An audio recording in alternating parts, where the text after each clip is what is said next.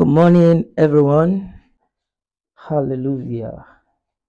In Judges chapter 14 says, Samson killed a lion with his bare hands. Samson ran the lion with his bare hands. What a man God have created. I fear lions. I fear lions, but Samson killed a lion. I labus kalibus kipata.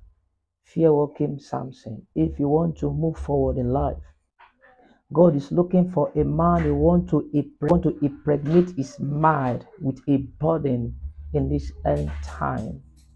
Without struggle, no progress.